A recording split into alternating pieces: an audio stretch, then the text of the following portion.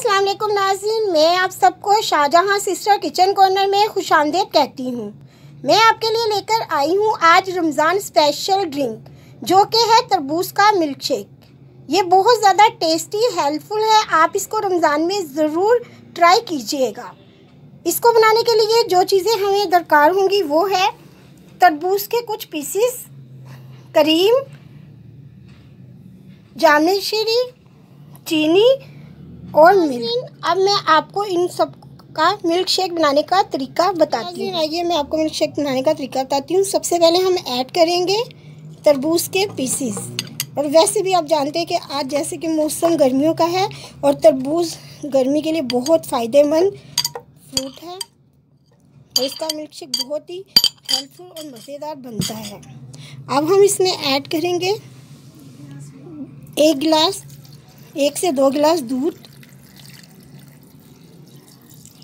अब हम इसको ग्लैंड करेंगे दो, एक से दो मिनट के लिए।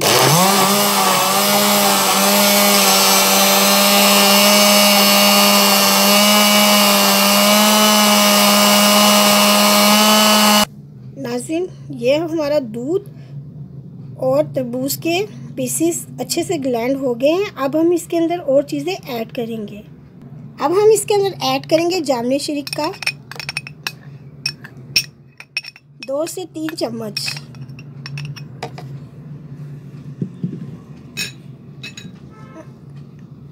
दो से तीन चम्मच चीनी के।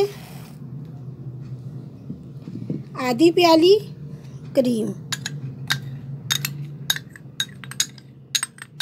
अब हम इसको अच्छे से ग्लैंड करेंगे दो से तीन मिनट के लिए। ये देखें नाजिन ये हमारा तरबूज का मिल्क शेक तैयार है। अब हम आपको इसको निकाल के नाजिन हमारा ये तरबूजी जामने शीरी मिल्क शेक तैयार है।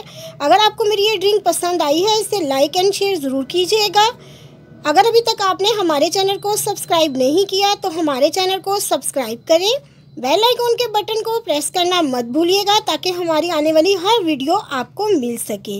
अब हम आपसे मुलाकात करेंगे अपने आने वाली नेक्स्ट वीडियो के साथ। अल्लाह हाफिज़।